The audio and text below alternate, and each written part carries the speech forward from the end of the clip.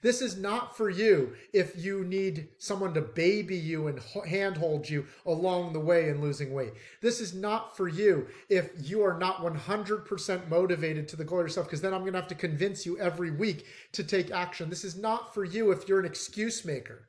However, if you are dot dot dot dot, so that's how I believe you market and sell with people mm. and for them is you're very upfront about who it's not for. So now you're not needy yeah. and you implement the Harvard effect in how you're going about marketing and sales.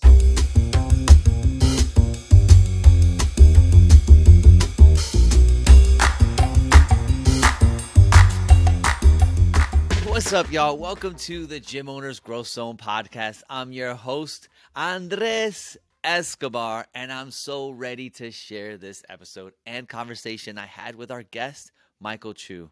Michael is a highly successful CEO with a seven figure revenue across his five businesses, including Champion Development Inc., which offers coaching and support programs to help coaches avoid the burnout and scale their businesses. He also shows clients how to turn passion into profits through the maximization model and the LTV method.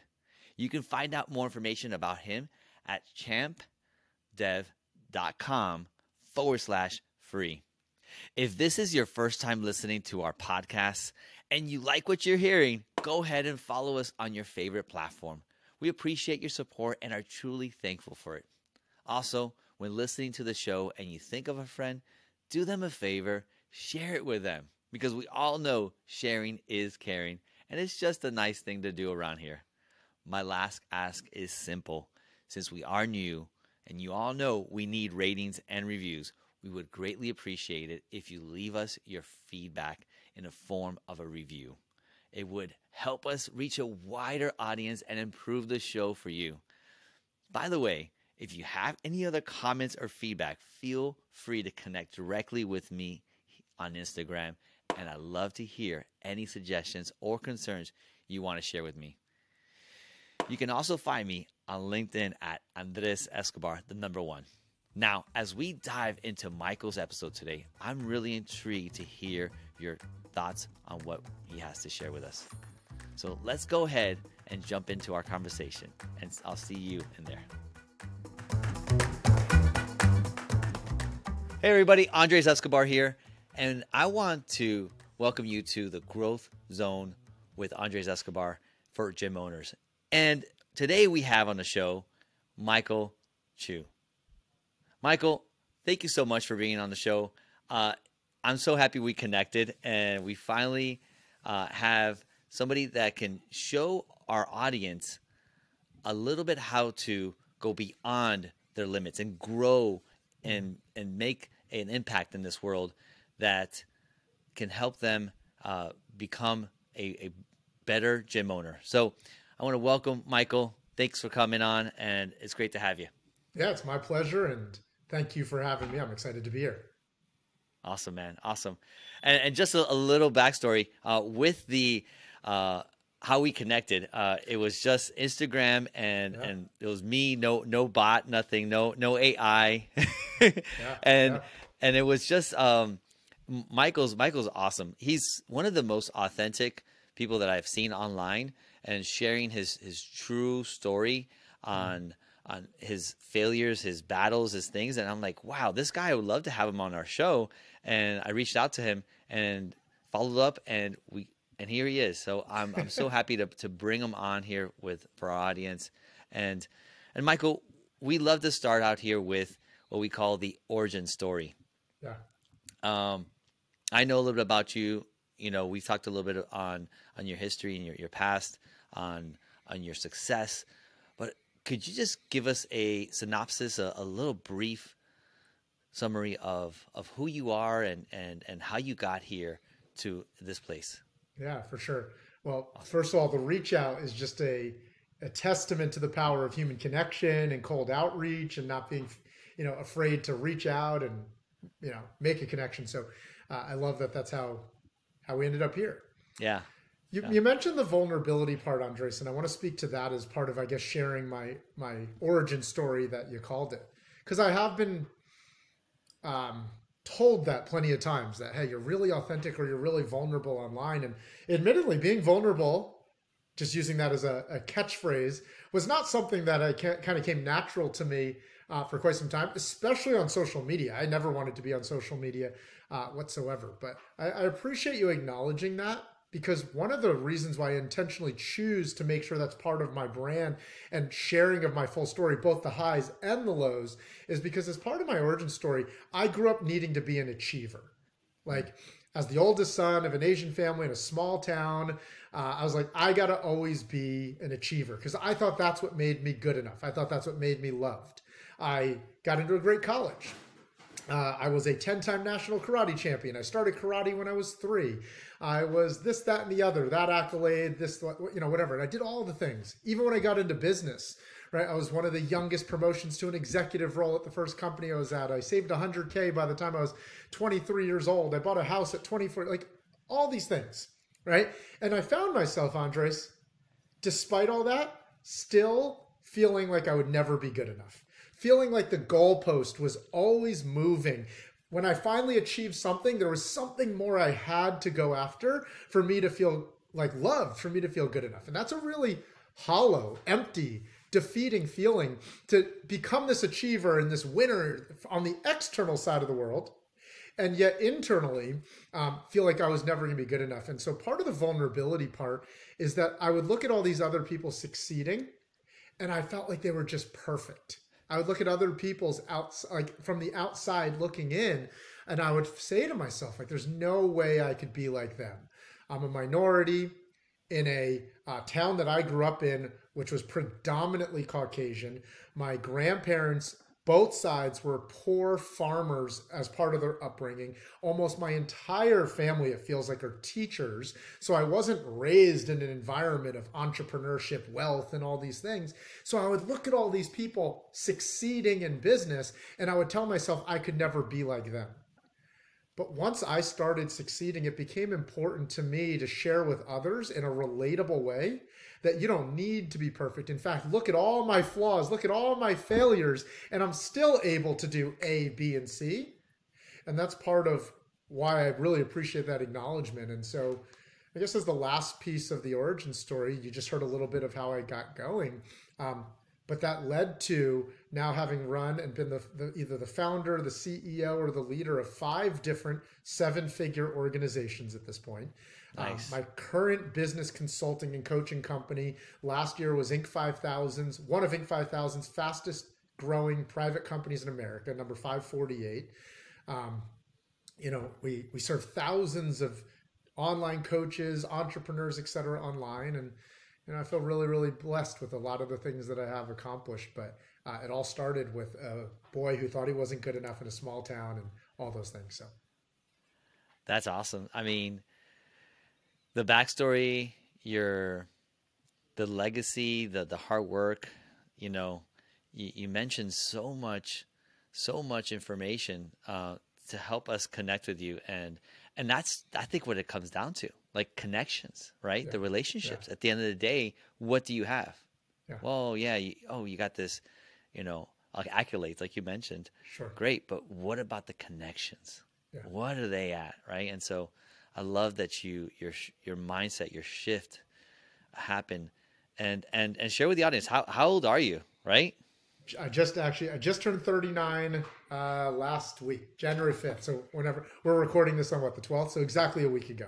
Yeah, yeah, that's awesome. Congrats, happy birthday. Thank you. Appreciate it. yeah, Appreciate no, at 39, man, just about to be 40. That is like such an a, a point in life. You're like, wow, 40 am I where I want to be or there's right? And, and there's I don't yeah. think you're ever going to be where you want to be right? You, yeah. you, that needle always gets moved and and pushed out. So thanks for sharing that. That's so be- that's beautiful. That honestly yeah, is pleasure. beautiful. Thank you. Um my pleasure. so I want to I want to get started with our first question and it has to do with the roller coaster of life right? Mm-hmm. and so in life in business it, you go up, down, left, yeah. right, fast, yeah. slow, all these different ways. And so there's certain rails and certain tracks that help us keep us in line. Like for example, I just started the 5 minute journal. Hmm. that's like like a, a anchor for me, right? Yeah. In the morning, I got to do it. At night, got to do it.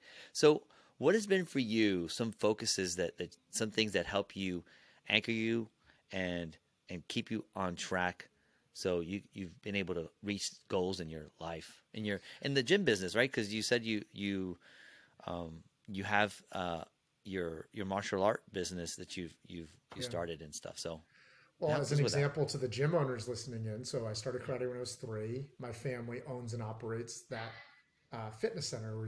It's not a gym in the traditional sense, but uh, we run that gym today. Um, I've coached and consulted many brick and mortar, uh, especially MMA style gyms, to continue to grow and scale.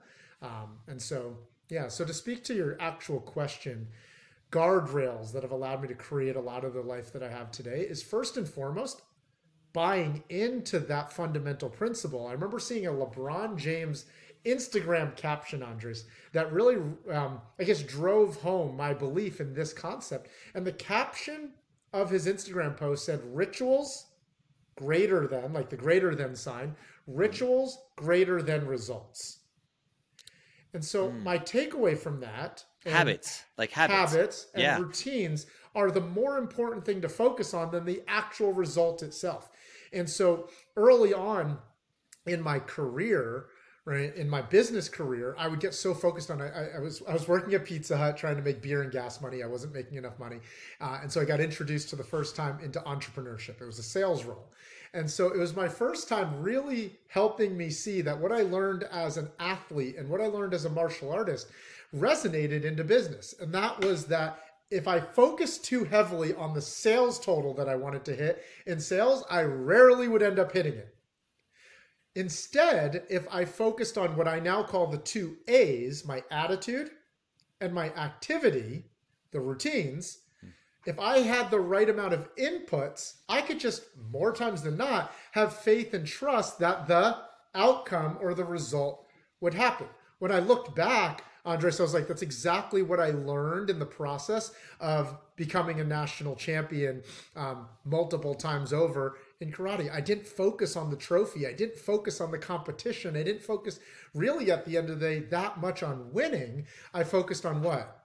The process day in, day out of becoming the best version of myself, of improving and getting better along uh, the way. So I can go deeper if you want as far as specific routines and rituals that I and how I operate around them now. But to answer your original question, it was just the buy into the fact that routines and rituals are well more important to focus on than just the results themselves. yeah i believe that for sure right fall in love with the journey not the destination Sure. Heard that? Yeah, that's that's huge. Yeah, could you share with us? I, I love for our audience to take away some tacticals and uh, habits. That'd be great. Like, Yeah. yeah, and and and we'll probably. I I think I have another question for you that will help us dig deeper into that. But yeah, if you could share one or two, that'd be great. Yeah, I'll share two. I'll share three quick things. Cool. There's a concept in my Health and Wealth Academy, which is my peak performance weight loss and, uh, and yeah, it's my peak performance weight loss coaching program for real estate agents, direct sales leaders, etc. And one of the fundamental principles that we teach in that program is called standard over schedule right? And I believe one of the reasons why so many people are putting in a lot of effort. I ask people all the time, do you feel like you're trying really hard? And many times people are like, yeah, I'm working really hard. And you don't have the result you want still. And they said, yeah, I don't know. I'm not making enough money or I haven't lost the weight, etc. And they're like, I don't know. And I'm even following my schedule, they'll say sometimes. But here's the reality. Rarely do we as human beings follow our schedule to a T. And so that's when I realized that the routine and the standard, and to me, I define standards as what we don't tolerate or allow ourselves to go below. And so I got out of shape in my mid 20s, even after having been uh, a, a, national champion, after having been an athlete. And I played baseball and I played basketball, et cetera. So I knew how to be in shape. And here I am making all this money, working 60, 70, 80 hours a week, living in my first business, and I got out of shape. And I realized that a lot of the things that worked for me at 18 and 20 and 22 were no longer working for me at 25. And I started following my schedules. Like I'm going to just go to the gym, right? Mondays, Tuesdays, Thursdays, Fridays. And I still wasn't getting into shape. I still wasn't losing some of the body fat. Well, what was changing? If I missed the gym on Tuesday, I'd be like, well, I'll still go on Thursday because that's what's in my schedule. But what would happen is some weeks I'd end up working out twice. Some weeks I'd end up working out four times. Some weeks I'd end up working out once. Some weeks I'd end up working out zero times. And that's not a way to get the result that I wanted. And so that's when I realized that I had to care more about my standard every week, mm. not just the schedule. And no matter what, by the end of every Sunday night, I would make sure that I lifted weights three times a week, no matter what. And Andres, being candid, there were times where I would get to Friday and I skipped all of my workouts Monday through Thursday. And I would end up working out then under this new principle, standard over schedule. Mm-hmm. I would work out Friday, Saturday, Sunday. Funny enough, when I started committing to a standard, not just a schedule, I started to transform my body even as my business grew as well. So that's an example of how I view routines. Mm. But some that I do myself now is um, I track those standards in a document. Like I'm looking down at the document I track it on uh, on this document here, and I pick a couple every quarter that I want to be really honed in on for my personal life and my business. So for me right now, I call it five, four, three, two, one. Did I work out five times this week? Did I get 80% of my sleep need four times this week? Did I read or listen to audiobooks three times this week? Did I do marketing for my business two times this week myself? And did I go on a quality date that I was present at one time uh, this week? And so that's a second example of current, present day, how I track my routines. And then lastly, I'll use an actual business example. Julio is one of my clients. He's a fitness coach. Uh, and he has all of the tools to be successful. If anyone's listening in, sometimes we think pure smarts, work ethic, and talent is enough to be successful.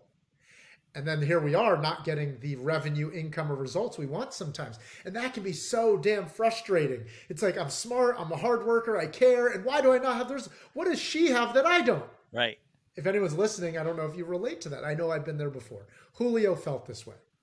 And in the last 90 days, Julio and I have been really focused on exactly what you're asking about. What routines and what standards does he have to hit?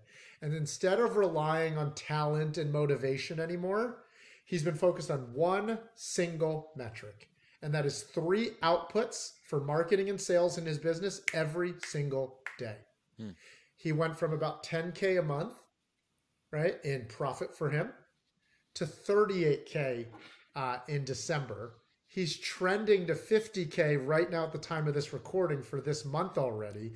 And all that changed was a commitment to a standard and a routine as a guardrail. You use that word, Andres, mm. as far as what his activities are in his business. So I know there's a longer, longer winded answer, but hopefully no, that clarifies for people. I love that formula, and that's what it comes down to, right?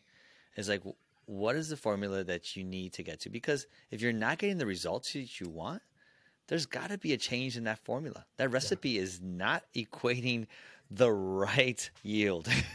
yeah. Yeah. I love it. I love it. That's awesome. And and I had I told you earlier, you know, I had a mindset coach, and and yeah, he's like, listen, these are the things you got to do. These are the outputs. Um, but you know, it's a process. Like uh, you said, standard over schedule. over schedule, right? Yeah. And so so yeah, no, it's so so good. And to um, what you just said as well, the whole like I think people get caught up in strategy or how too much. Tony mm-hmm. Robbins mm-hmm. talks about the tyranny of how. Well, mm ask how do you do it? How do you do it? But that's actually like asking what the numbers are to a combination lock, he says, without knowing what order the numbers are supposed to be in or which lock you're even trying to unlock. And so, since we're talking to a lot of gym owners here, you would relate to this. That's like being like, what workouts is that person doing because he's jacked? But you're not asking how much weight you need to be doing for progressive overload, right? For you to get results or how many reps in what rep range you need to be in. And so you're just trying to replicate the strategy, but you're missing the nuance of standards and so much more detail to what actually leads to results. You said something earlier about um, the attitude. Was it two A's? Attitude and activity. Activity, yeah. Yeah. Love yeah. those two. Love those. Because if you take the right activity but with yeah. the wrong attitude, you still might not get results. If you have the right attitude but you're not putting the right amount of activity, if you really boil success down, in my opinion, my humble opinion, at a fundamental level to two things, it's those two things. Yeah. Yeah. So so huge attitude. I I drill my kids on the attitude. Attitude's 100 percent like Yeah. the most important thing. and the activity has is right next to it. And I love it. it. It makes a lot. Of, I love alliteration. So I'm gonna I'm gonna I'm gonna steal that one from you. I love it. Steal with pride. Take it away. Thank you. Thanks. Um, so with these these processes and everything that, that you're doing, there's obviously challenges, right?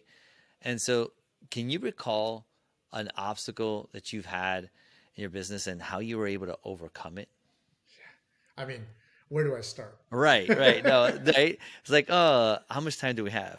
yeah. I mean, I think it's a fundamental part, whether you're a veteran business person or brand new or a rookie. Um, anytime I talk to somebody about their goals and their vision and their business plan, you know, one of the questions I always love to ask is what's everything that could go wrong and how will you respond when that happens?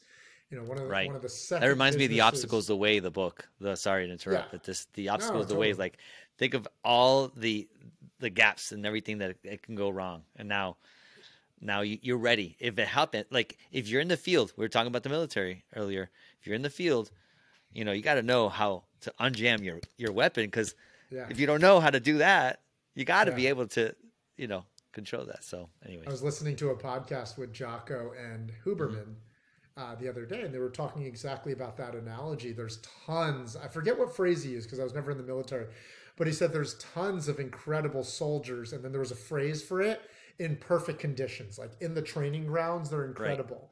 But the best soldiers, the ones who go on to rank up and all the things, he said they're oftentimes the ones who are not perfect in um, they're not great in just perfect conditions. They actually shine when in the battlefield when nothing when when things are not going perfect. So I think that's so key to win as a gym owner, to win as a business owner, to win as an entrepreneur. But I mean, I'll let you choose, Andres, what you think is most relevant. But what comes right off the top of my head is you know everything from uh, leads slowing down to profit drying up to lawsuits to um, feeling like I was burnt out in a business and like what do I do when I'm not motivated and I'm burnt out and uh, staff turnover right like here I am relying on staff and then they turn over they don't show pissed off clients like I like I said I genuinely could like where do we start that could be its own podcast but yeah.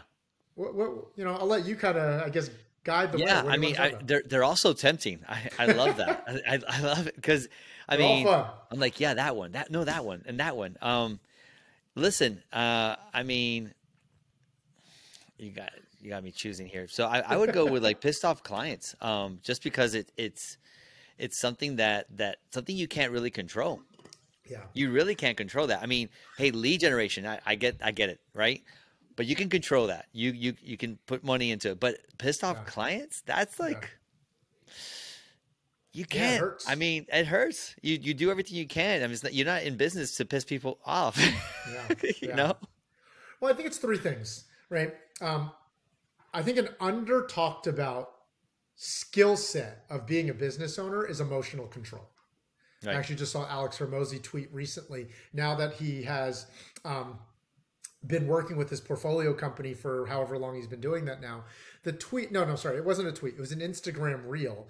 And it said mm. something along the lines of he said, the longer I've worked with founders and CEOs and business owners, the more I actually believe that the competitive advantage, and I'm summarizing, this wasn't the exact caption, that the competitive advantage of business owners is emotional resiliency, the ability to address emotions because if the emotions take us off from staying the course now we're not putting in the activity now our attitude is crap and all the things that we just talked about the two a's and so with pissed off clients the three biggest things i've learned uh, from that is number one uh, my somatic therapist says if you want to trigger your deepest emotional healing start a business start a family or start a relationship and I think some people end up doing all of them at Yeah. the same time. That's what I did five years ago, right?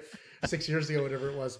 Um, but yeah, start a business, start a family, start a relationship. And I think people think business is just numbers and KPIs, but the reality is it's human relationships. And so, number one, to pissed off clients, if you take that so personally that it throws you off your game, business is going to be a really hard game for you to play. Number two, though, how can you look at a pissed off customer and say, what can I learn from this? How can you take extreme ownership? Even when, and I get the whole like the customer's always right or whatever type of thing, but like how can you take extreme ownership even when you don't even feel like it is actually your fault? How can you look at it and say, what can I learn from this? Right? Maybe I could have set up better expectations. Maybe I should have never brought that client in. Maybe I was desperately just trying to make money selling everyone. They weren't the right fit. Maybe, right? And it's like, how can you assess and take extreme ownership? But then on the human and people side, I don't think this gets talked about enough, this last piece. I believe in a philosophy. So my company's called Champion Development. We call it Champ Dev. Um, we believe in the concept called once a champion, always a champion. And what that concept means to us is do we treat clus- uh, like clients and customers, do we treat them equally on the way out the door as we did on the way in the door? Right? Like when someone's first signing up, you're like, you're telling them how awesome you are and you're get but on the way out out the door, sometimes it's like we're kicking them in the ass and like screw that person and how can we make sure we uphold dignity and relationship when they have nothing to offer you anymore. Right. And I think that'll change the way people approach hard situations is like how can I still uphold the dignity and the respect of this relationship?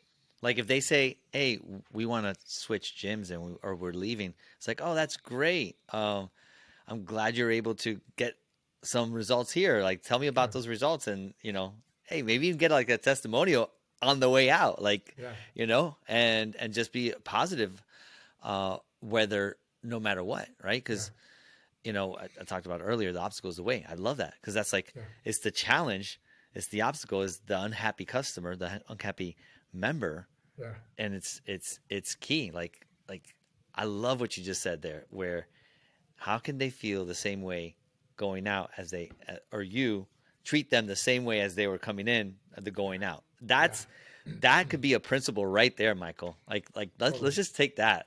Yeah. love yeah. it. And one, and one of the ways I sometimes see myself doing that is I'll thank them.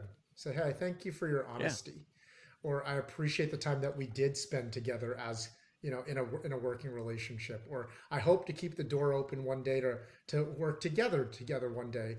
I never know when our our paths might cross, or hey, what can I like?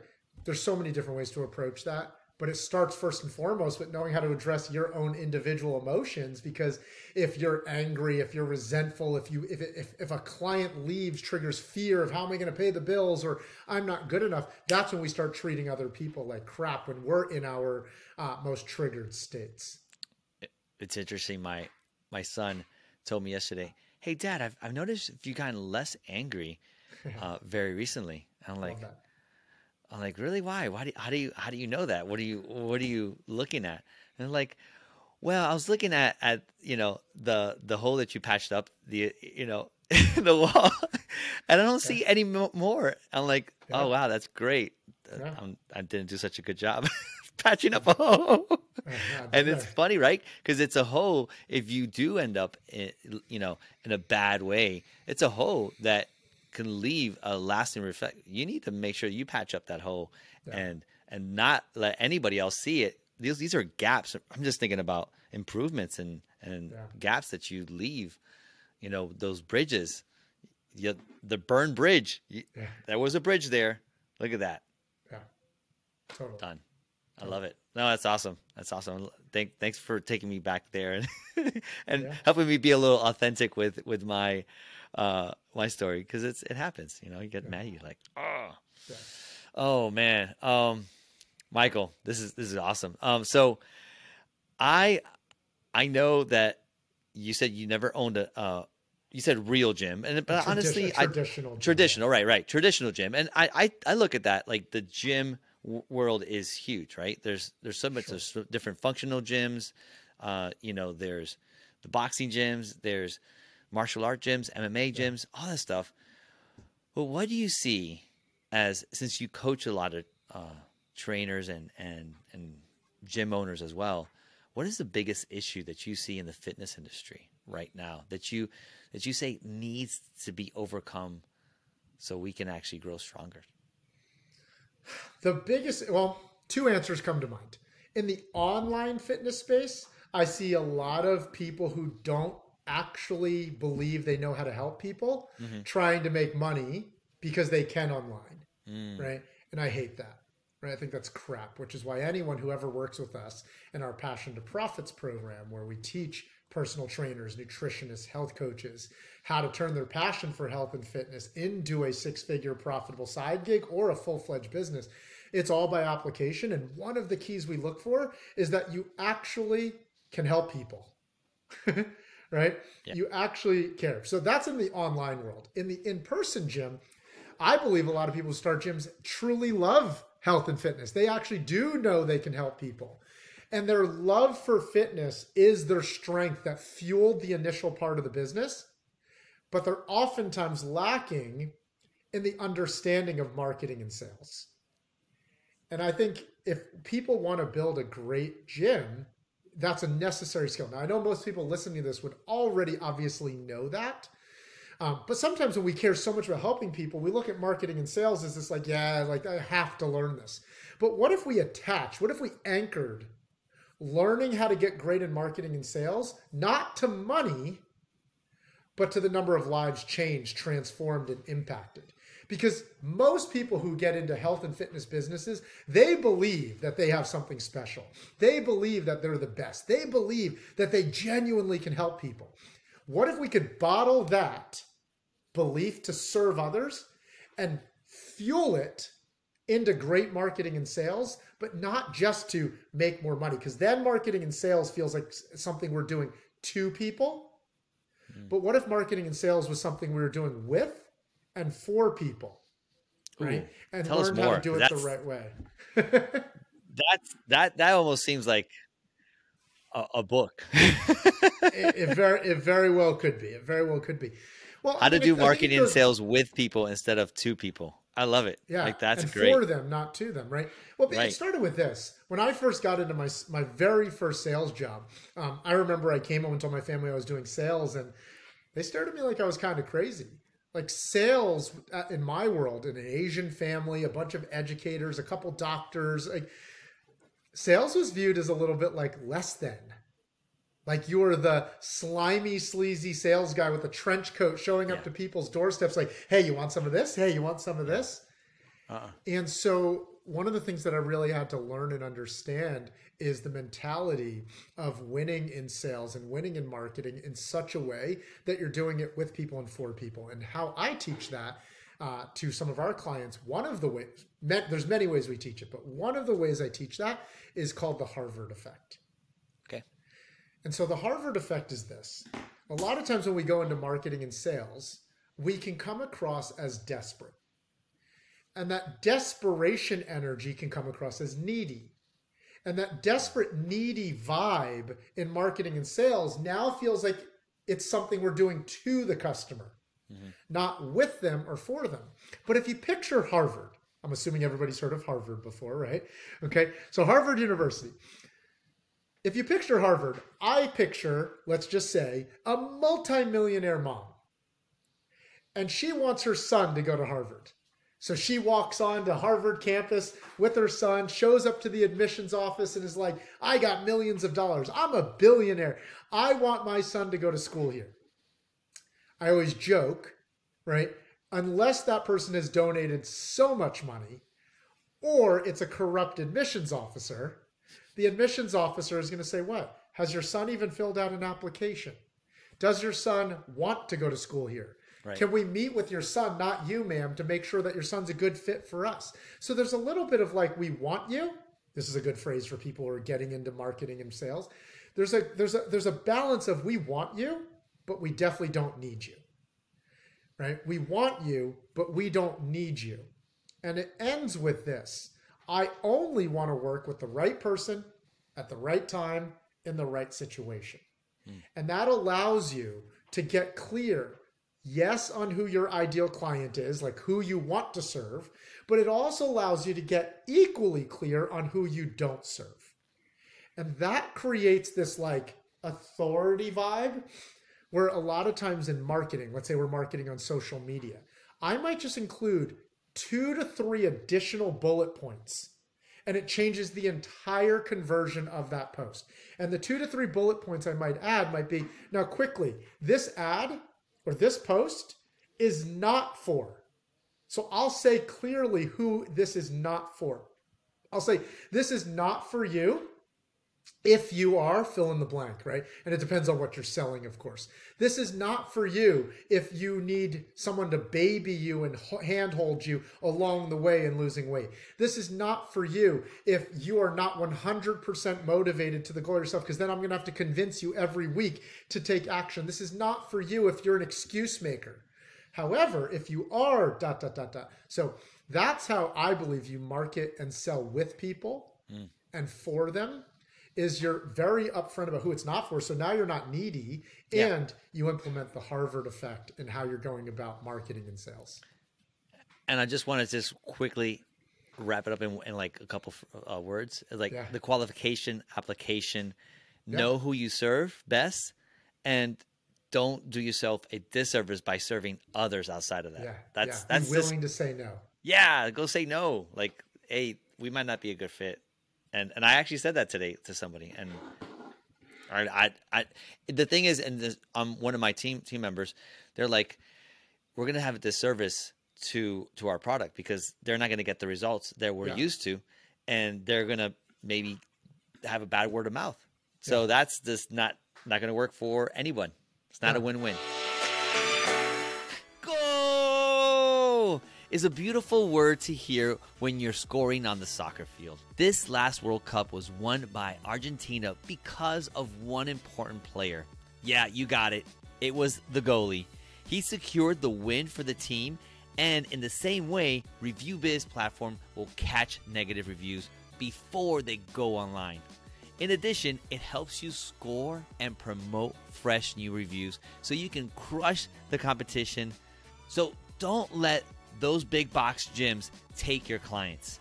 ReviewBiz will help you build your online presence and turn your own members into your best sales reps. Get your first five reviews for only $1.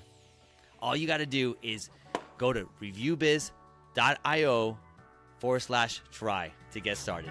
If you look at most of the gyms that are thriving, like the big box brand, like brand name gyms, right? If you look at most of them that are thriving, they're clear on who they don't serve and they're clear on who they do serve, and they don't try and serve everybody, right? right.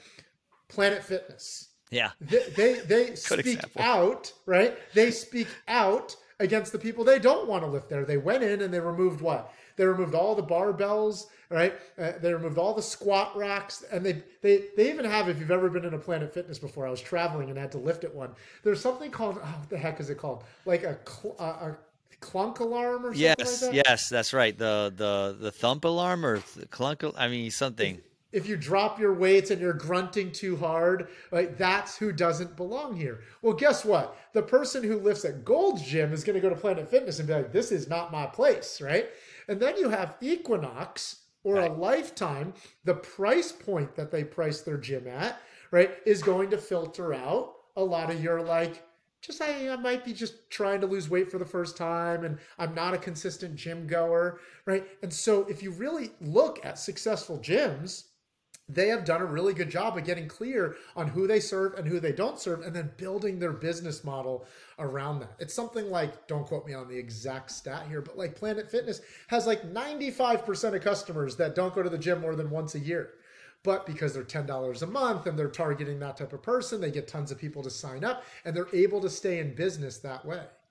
So, yeah, and there's no right or wrong. It's like, hey, that's what's works for them. They're they're successful in their their own model, and you got to find what works for you. That's it. Yeah. I, I, agree. That's good. Yeah. That's a good. Yeah. The, those are also Equinox and the Planet Fitness, and um, yeah, no, I, this is this is good. Um, yeah, I, I definitely think that the um, you know, knowing your audience is definitely and and having an application and and having like a certain onboarding, like let them fail fast. Hey, are you in or out? Like that first month you got to figure out if that's the right fit for you, right? And yeah. so, um, you know, that's a great practice. That's actually one of the questions I had for you. Is like, well, what's a good concept or practice? But that's basically embodies it right there. Yeah. Like that's like, you know, and I that must be something you do in your own business as well. Like you have an Yeah. online coaching business, and so you must have an application process. Well, do you fit this criteria? No, Yeah. you don't. I'm sorry. You know. Come back when you're ready. Yeah, totally. You know, And as one other sub point to your original question, which is like, what is the biggest pitfall or mistake I see in gym with gym owners and business owners? Under the banner of marketing and sales, is um, knowing the critical metrics that actually lead to revenue. Right? I was coaching a gym owner um, who was doing okay. Right? They're making enough to like pay their bills, but they were definitely not thriving by any means. At the end of the day, he was taking home approximately 5K a month for himself. After working together for six months, uh, he was taking home 25K a month for himself. And one of the only things we worked on predominantly for that first three to six months was knowing three key like metrics within the sales funnel and process and how to influence them. Number one, of all the leads that he's getting, how many of them are actually getting converted to a scheduled appointment to stop by the gym? Mm-hmm. And then understanding what influences that, like speed to lead, right? He was getting back to them days later sometimes and all things like that. So we learned how to influence that. Then how to actually get them to show, right? Because they would schedule but not show up. How do we actually get them to show up at an 80 to 90% clip? And then of the people that do show, how do we convert and close them at a blank blank percentage. And so we worked on just those three things for the first three to six months and his entire business changed we weren't generating a single extra lead. I call it the maximization model. How to maximize the leads you're already getting Yeah. without having to generate more leads without having to spend a single extra dollar on ads. Most business owners are leaving five six and sometimes even seven figures in revenue uh, on the table by having what i would consider like a leaky boat. Right? So, oh yeah. I love it. I love. oh, we call it leaky buckets over here. So Leaky buckets, uh, yeah. boat buckets. Yeah. Oh, I love it. And and guys, if you find anything that Michael's talking about that you need to improve, like oh my gosh, yes, my speed to lead is horrible. My follow up is horrible. Getting them in. Just we're gonna have all his information in the show notes. Uh, the, the down below, so make sure that you guys Yeah. check the, him out, and and we'll we'll connect you with him. Okay, nice, awesome. Um, so one last question before we go into our rapid five Cool. uh, questions is, Yeah. uh, what is what was the thing that inhibited your growth, and and what would you invest in that would help you gain that growth faster? yeah It's like it's like a two part question, but it's like Sure. what what would you like remove and what would you invest in more about? Yeah. And and by the way, and, and this is something about about Michael. He's invested like two hundred thousand dollars in in one year. And I remember reading uh, in his his business, mentor Yeah. mentors and whatnot. So so listen up, guys. Like this is this is juicy over here. Yeah. Um, 1A and 1B to answer your first question, which was what has inhibited me. Um, 1A is alcohol. So I grew up in a family of alcoholics. I, um, I prided myself on being a frat boy uh, through high school and college. I was the world's greatest beer pong player and all these things, right? And I say that jokingly, but I, I drank. I drank. Um, four years ago, I gave up alcohol forever. And it's funny how this Congrats. current business has magnified and multiplied in relation to kind of the same time where I stopped drinking. And so I said 1A was alcohol, but do I know successful people who drink alcohol? Of course. Right. So it's not that alcohol in itself is the determining factor of success or not success. 1B is alcohol for me was a crutch to doing really one most important thing, and that was learning how to master my own mindset and emotions. Right? Alcohol was an easy thing I went to when I was celebrating. So a happy emotion. But on the flip side, alcohol was something that I'd also go to when I was stressed. Right? Oh man, it was a long week. Let's go get a drink. Alcohol is something I would go to if I was angry, like if I was in a fight with a significant other. It's like I, I feel like we just need to. I just need to go get a drink. Like screw this, right? So alcohol became a crutch I would go to instead of learning how to actually powerfully process and address my own emotions. And so that inhibited me for a while. And I made good money through most of my 20s and early 30s while I was drinking. But it's funny just how much more things multiplied quickly when I eliminated alcohol and started to actually be my best self. On top of the fact that, like, the number of hours that you feel like you get back, I'm the type of person, if I drank heavily, I would sleep on Sundays till one, two, three, four o'clock sometimes. Right. And so the hours that you get back, the focus that Yeah. you get back, the energy that you have, um, that inhibited me for sure. On the other side of your question, uh, things that I would invest in, you mentioned the, the amount of money I've invested in different mentorship and coaching, but I would invest in more coaching sooner and more consistently. And what I mean by that is I think too many people strategy hop. I'm going to try this coach and I'm going to try that coach. That would be like, and I get to talk to gym owners here, so you would get this, right? That would be like if someone tried your weight loss program or your weight loss approach for 60 days and it's like cool i tried that for six days i saw some results. I'm now going to go try vegan and keto and walking and bar and right every 60 days. They might feel great but we all know as gym owners that if we actually want to transform our physique a lot of times it's progressive overload. Doing the same basic boring workout week in week out right for 12 16 24 weeks in a row and following the same nutrition plan and so i would have invested in more coaching and mentorship earlier because my big ass ego got in the way of me investing in mentorship at a lot of different stages of my life like oh i can figure this out on my own uh, and then I would sometimes get results when I would invest in coaching. And then I would say, now I don't need to invest anymore. I can do it on my own. And funny enough, that's a lot of times when my business would keep growing and then plateau. But my somatic therapist, for example, I've seen her every other week for the last Can you pause right there? five years straight. Yeah. Just right there. Right? Is it what is a somatic therapist? I don't. You know, us over here, in, in I'm, I'm in the East Coast. I don't know. It hasn't gone to us yet. Tell tell us about yeah. it.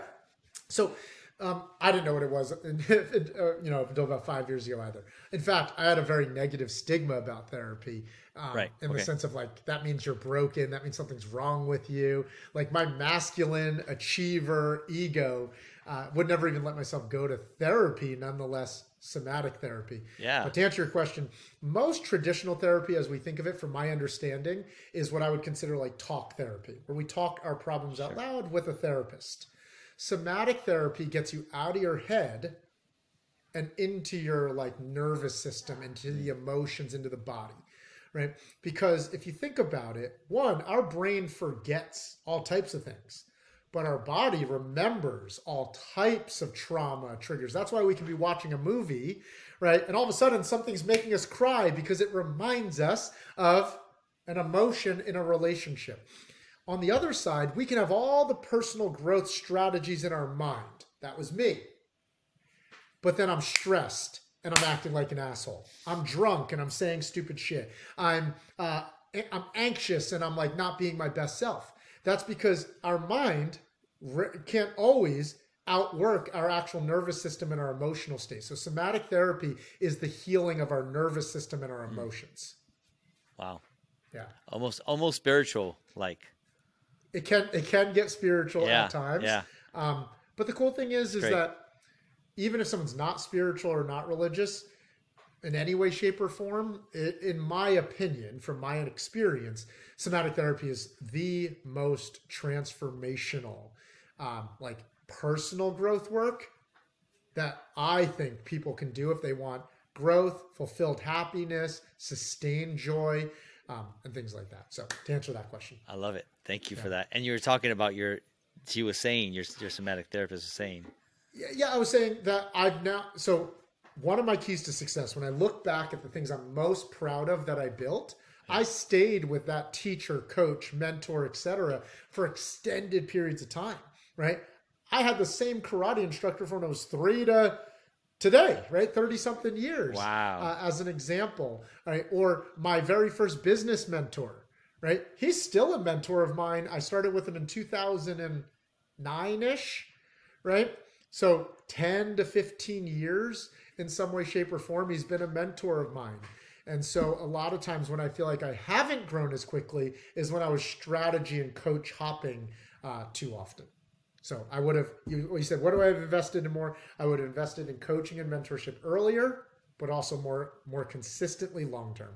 And and I think that also can be a good strategy when you know, gym owners and the trainers are talking to their members, to their new clients. Hey, Yeah. listen, how commit for six months. We actually had a, a gym owner here. Is like they don't do anything less than six month training. Like Totally. that's that's it. And and a lot of people are like, whoa, that's crazy. No, that's that's that's actually smart. Six months, Yep. that's it. Like you you're committed here. And six months or a year, right? So it's like that's those those are two different Yeah. plans. That's it. My, P- my Health and Wealth Academy, we do six month entry level programs, and then every program after that's 12, 18, or 24 months. The go. karate school uh, that I started at, if you're in an intro program with like a four year old, you can do three months, but most entry level programs are six months. But uh, many Yeah. times after that, you're in 12 and 24 month commitments because, Yeah. you know, there's there's a phrase that I, I think it's used a lot. I think Alex Hormozi, being here in the gym world, uh, has said it a lot, so it's kind of popularized it. But if I don't see myself doing something for a decade, don't consider it for a day. wow. Right? And if people really want results at just about anything in life, business, health, etc., this is the fundamental philosophy of my own Health and Wealth Academy. And that is we only want to give you weight loss strategies that you could see yourself doing for a lifetime. Love it. Right. And so if you don't see yourself doing it for a decade, don't do it for a day. I, I love the, the value you're bringing. I and and thank you so much for sharing. And you know, I almost feel like this is like I I am so blessed because I get to to ask the questions and Sure, and and sure. help you uh, share your your knowledge. And and I almost feel like I, I get coached all these times that uh, I do these these podcasts. Um, That's amazing. And it resonates with with me because what I'm doing and stuff. It all lines up, and so so good. So, are you ready? Yeah, let's do it. I think Let's you, go. you called it the rapid five or something like that. rapid five we call it um uh fast five just fast five so Cool. so some people i say fast five and some people slow it down so it's up to you if you want to slow it down but Cool. i'm gonna give it to you fast so ready Sounds good. all right here we go so who is an influential person in your business journey or people Yeah, um, I think one that everybody knows, and then one that most people don't know. Uh, but one that everybody knows is Tony Robbins. He was the first introduction I really had to personal growth. Uh, I was watching a late night infomercial. So this dates when I was figuring it out. This is before paid ads. This is before social media and everything like that. I was watching a late night infomercial on TV, and here's this fired up guy talking about breakthroughs and everything like that. And I whipped out my credit card at like midnight and I bought his entire CD series. And I turned my car at the time.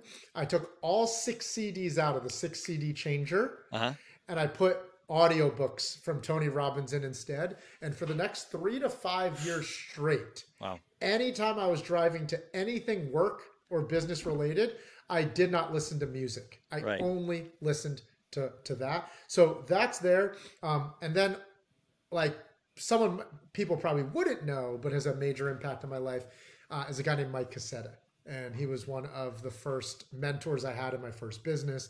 He's gone on to create an incredible professional career uh, for himself, uh, executive roles at some really big companies like Square and Compass Realty and things like that.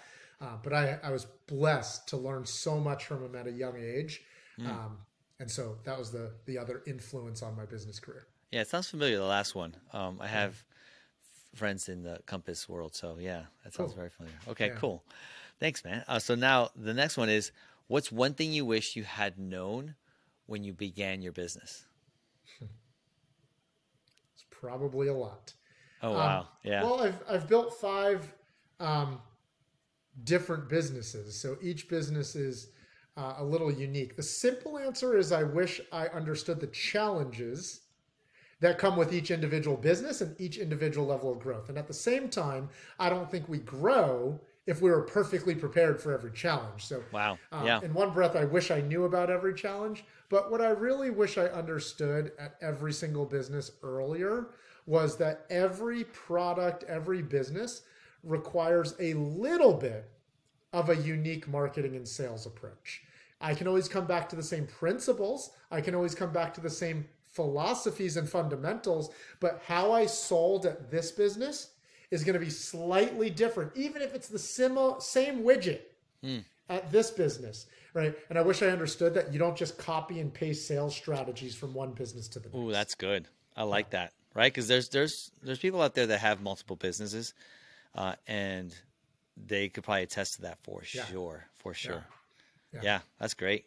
Um, and you kind of touched this on, on this before a little bit, but but what's a, a book, a blog, a podcast, some media that you consume that positively has impacted your life?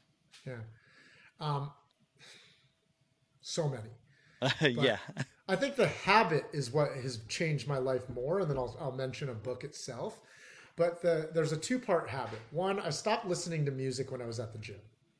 I, I basically only turn music on when I'm doing like a big lift, like I'm about to squat or bench press or something like that. Some PR But- or something. Yeah, yeah, exactly. But for the most part, I'm actually listening to audiobooks whenever I'm working out.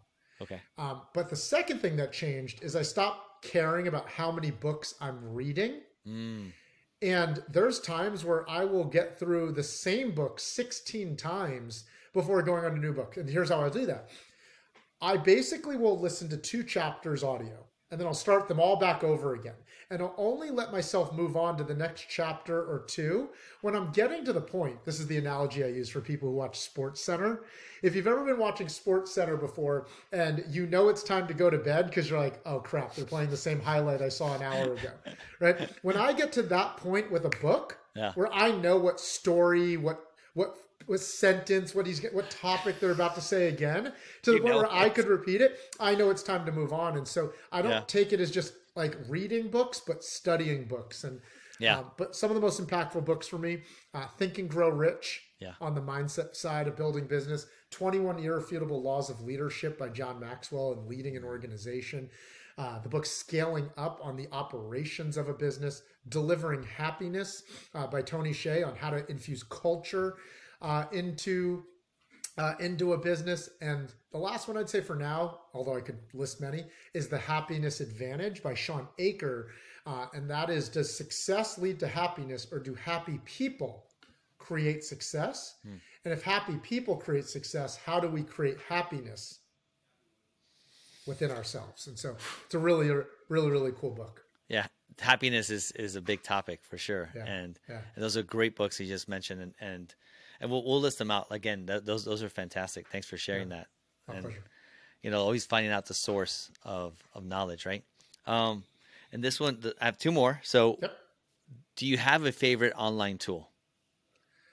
favorite online tool i mean my business lives in slack at this point Right. as far as like communication uh, and everything uh, everything like that but i think my favorite is voxer or any type of like voice noting tool Yeah. that allows you to to communicate via voice Mm-hmm. but speed up or transcribe it so like in slack you Yeah. send voice notes but then there's a tool that transcribes the whole voice note for you i Yeah. think that's amazing right voxer why i love that is it allows you to speed up voice notes not just to 2x speeds which is what most products do voxer allows you to take it up to 4x speeds and so I can get through a four minute voice note in a minute. I can get through a one minute voice note in you know twenty ish seconds or whatever. And so um, I think those those tools are my favorite, at least in my current business right now. Yeah, Voxer is great. I got Yeah. introduced to the Voxer uh, like two years ago, and it's Yeah. uh, and you can you can do it on your computer too. But uh, Yeah. but yeah, no, that's uh, and I, I think recently a lot of people talking about the Chat GPT. Have you tried that one? I've, I can't say it's my favorite tool yet because I've only been using it for three weeks or Well, whatever. hundred percent. Yeah, it's not. Um, you haven't vetted it, and and now it's actually been every last three times I've I logged in, down. The servers are down and everything like that. Well, will will it end up being most people's favorite tool? Probably. I think so. Is it my is it my favorite tool yet? No. No, no, no. I don't use it enough to to to get it that, Correct. become that favorite. Yeah, hundred Correct. percent. And then the last one is what's one habit or practice you do that you believe everyone should do and would benefit from? Yeah. Um, gratitude and some version of self talk. Um, I'm not a believer that you need to have an extended morning routine to change your life. I am a believer that we need to inspect what we expect of the world. Love that. Yeah. And what we expect is normally a byproduct of what our like our subconscious voice or what our self-talk is saying to ourselves. And so I'll kind of start to close out with this. And it was like five, six years ago. Um, I was at what I call the dark season of my life. I had made all this money in my 20s and I lost a lot of it through investments and trying new businesses and uh, everything like that. So I had a lot of shame around that. I was on the verge of divorce. I felt myself stuck in this small town in New Jersey that I didn't really believe I was happy in, but I was staying out of obligation because I was supposed to stay close to family. And so uh, had all these things that were kind of like the dark season uh, of my life. Who I am today, I, I, I, I steal Tony Robbins' line and he says, I reinvented this mofo right? And what he's referring to, or what I'm referring to, is about five ish years ago, four years ago, I started this new morning and evening routine. It's probably five to 10 minutes. I call it my power shower. Like I could say the whole thing while I'm showering. It's so short. So it's not like I need hours and hours, but it's a combination of gratitude and self talk, right? Where right. I basically focus on things I'm grateful for from the day before or the week, and then self talk about what I'm committed to creating, and most mm. importantly, who I'm committed to being so I can continue to level up my identity. And so I think some version of a habit that uh, levels up people's self talk is a life changer. I love that. And it actually connects with my five, five minute journal. Yeah. It's like the three things of gratitude and affirmations yeah. and stuff in the morning and at night. What, what went well? No, I love it. That's awesome. I, I, I'm with you. That's, that's yeah. great. Yeah. Everybody should do some form of that for sure. For sure. Yeah. Um, and then the last question um, that we just kind of like wrap up and and and uh, say our goodbyes, but you know, so sad. oh, if you could go back in time and share one piece of advice with ten year old Michael, what would that be?